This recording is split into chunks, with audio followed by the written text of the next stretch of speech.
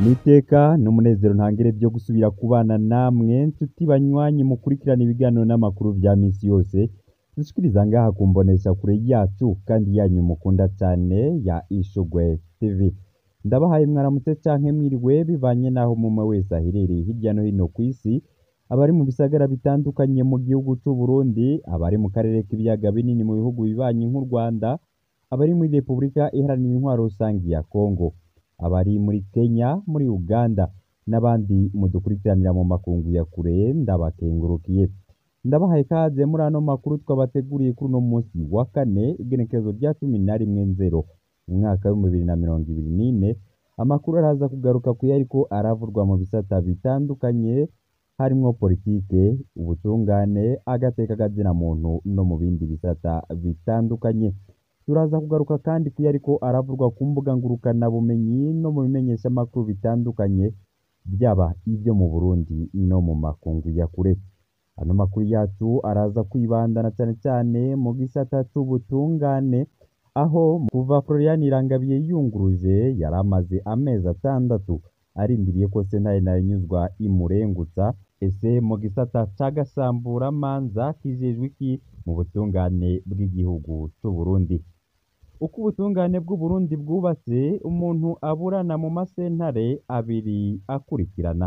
Ni ukuvuga iyo atanguye urubanza muri sentare imwe arashobora kurwunguruza muri sentare ikurikira mu bubasha. Ariko iyo urubanza rwa sentare y'iyungururizo rutagushimishije, uraheza ukitwara muri gasamburamanza usaba ko basambura urwo rubanza.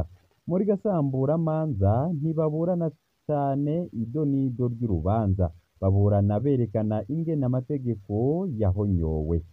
Muri gasamburamanza iramutse isambura urubanza ica irasubiza muri ya yindi yaruciye mw'iyungururizo, igasaba ko barusubiramwo ariko hagasasa abacamanza batandukanye n'abambere. Mu ncamake iyo urubanza rutanguriye muri sentare y'intango ruherera muri sentare nkuru ariyo bita tribunal de grande instance.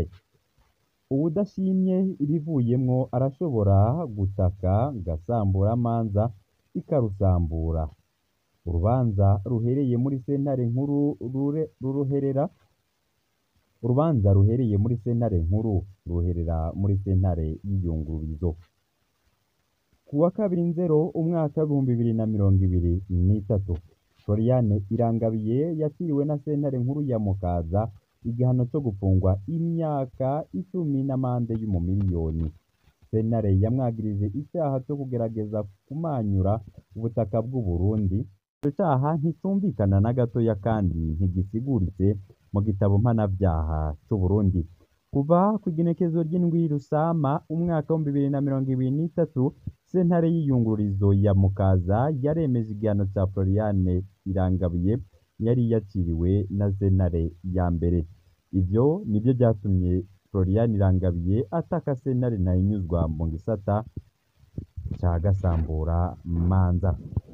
Ibiriko birakorwa kuri Florian Irangabiye ni akarenganyo katagira izina mw'ibanga, aho abacamanza baciye urubanza rwa mbere baravuye ko babonye babazanira urubanza rwanditse bashirako imikono gusa. Barusomye bizeye ko ruzosubirwamwo rugeze muri cour d'appel. Muri ayo masentare yose ntibigeze berekana icaha Florian Irangabiye yakoze, ari na yo mpamvu bamuhana bakoresheje ingingo y'ibitabo mpanavyaha yuzuyemwo igipfungu. Mu ndwi iheze umushikirizamanza mukuru wa Repubulika Leonard Manirakiza yarasengeye ubutungane agasaba ko Imana yomufasha guheza akarenganyo mu Burundi. Ni akanya ko kuraba ko ivyo Leonard Manirakiza avuga ko ageze imbere y'Imana bihuye n'ivyo ariko arakora. Kunyuruzwa twama twavuze ko biterekeye abatavuga rumwe n'ubutegetsi gusa. Iyo bimenyerewe biratandukira n'abo muri ubwo butegetsi. Akarorero ngaha novuga ni inyuruzwa ry'uwitwa eh, Desire Manirambona. Desire Manirambona benshi baramuzi ari imbonerakure hariya mu buterere.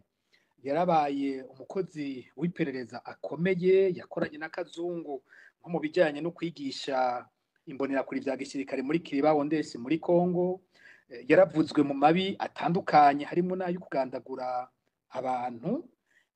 Yavuzwe mu bintu byinshi yarabaye umushoferi w'abantu nka ba Bertin Gahungu batwara iperereza mu gihugu hagati yarakoranye na Emmanuel Ndayiziga ajejwe nyine iperereza mu gihugu hagati n'abandi. Mu kwezi kw'indwi guheze uyu Manirambona Desire yahagaritswe ari mu Kayanza. Ahagarikwa n'umukuru w'iperereza mu gisagara cya Bujumbura yitwa Elifaz Niyongabo. Amuvana mu Kayanza amuzana mu iperereza i Bujumbura. Hariho n'abandi bari bafashwe ico gihe bitwa ko basangiye idosiye imwe yari ijyanye n'umukenyezi yari aherutse kwicwa mu Kamenge. Ariko icyagiye gutangaza bano bandi bari bapfunganywe baratwawe mu mpimba bariko barakurikiranwa baratwagwa imbere y'amasentare Manirambona Desire ntiyigera asubira kuboneka. Amakuru dufise avuga ko wa Elifazi nyene. Yagiye amusohora ijoro kuva amusohoye ntiyigeze amugarukana abajyango baracabaza uwabo iyo yajyanywe bumva amakuru ko yoba yarishwe. Ubwo n'uburorero bubiri mu bundi bwinshi ibindi dukora ko cyane twakoze ko nko muri fokode twagiye turakurikirana ni nk'ibibazo by'abantu bapfunzwe batarekugwa kandi barahegeje iminyororo cyane bagapfungwa ntibigere baburana. N'aha ndabahe uburorero bubiri bw'ibintu twakoze ko cyane muri uyu mwaka uheze. Twaravuze rwose nko ku bijyanye n'ipfungwa rya christian butoya christian butoya abantu benshi baramwibuka. Ni umusore wo mu kamenge avuga yuko kuva akiri umwana be n'ihasa agiwe bazwi ko mu mutwe bafise indwara yo mu mutwe nta bwenge bari bafise muri nyakanga bibiri na cumi na kane. Igihe hishwe ababikira hariya ku iparuwasi yo mu kamenge. Igipolisi cyaciye kiza kwerekana christian butoyi ko ari we yishe abo babikira kandi ko yabyiyemereye. Niko bavuze icyo gihe. Ariko amatohoza yagiye arakorwa n'abandi yo yavuze ibindi ko abo bantu bishwe n'iperereza ry'u Burundi christian butoya amaze imyaka icyenda mu munyororo. Atazi n'igituma apfunzwe atazi n'idosiye yoba imupfunze. Ntarigera ajya kuburana n'umunsi n'umwe. Tumaze ubu mwaka tuguma dusemera dusaba ko ari kugwa ariko abategetsi bose barica amatwi. Akandi karorero kagira kabiri naka koronere Dieudonné dushimagize batazira gangi. Uyu nawe yahagaritswe muri bibiri na cumi na gatandatu. Yari icegera c'umukuru w'iperereza ry'igisirikare afatwa ku kazi yagirizwa ngo yari mu migambi yo gutegura kugandagura wiri nyamitwe. Bamaze kumufunga haciye iminsi. Umugambi wo kugerageza kugandagura wiri nyamitwe ni ho waciyuba haraheza hafatwa izindi ntwazangabo zibiri ari zo zahavuye zozo zagira ico caha tugerageza kwica wiri nyamitwe. Wa wundi nawe mu rubanza rwiwe aravuga ati none jewe munyagiriza icyaha kitari bwabe cyahavuye kiba ntahari kandi abavyagirizwa mwabakira urubanza bakaboneka hariho mwabishize ko je bibandanya bindi ko gute?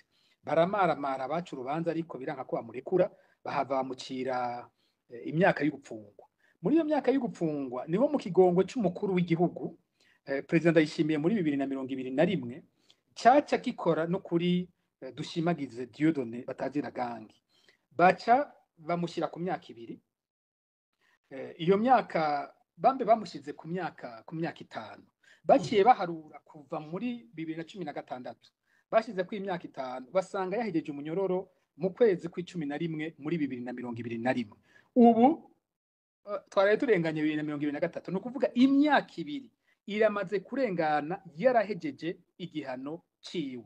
Ariko aguma apfunzwe.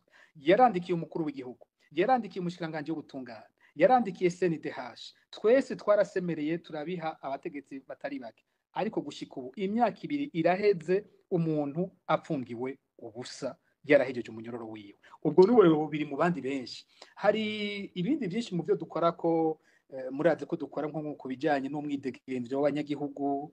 Ariko imbere y'uko tujya ku mwidegemvyo w'abanyagihugu pacifique ntazwi mwatanze uturorero mu bijyanye n'ibyo mwakoze mu kunyuruza abantu no mu gufunga abantu bahoga ubusa ku bwanyu ibyo mwakoze kubera iki ku bwanyu biguma byisubiriza bikaba bigasubira kandi muba mwagerageje gutabaza no gusemerera.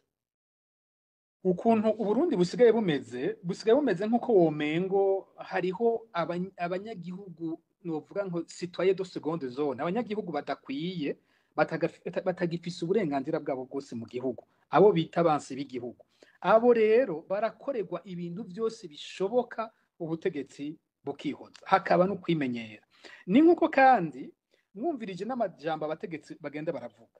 Bene ibyo bintu ntibemera ko biriho abo bantu ntibemera kubavuga ko barashobora kuvuga ibindi byose nk'umukuru w'igihugu ni kenshi atubwira ngo yagarukiye ubutungane eh, mwarabyumvise mu ijambo ryiwe riheze umwaka yavuze ko ubutungane bwateye imbere rwose kubera we ibyo yakoze ngo hasigaye ingorane z'imanza ngo zaciwe kera ngo ariko ngo ibintu byifashe neza.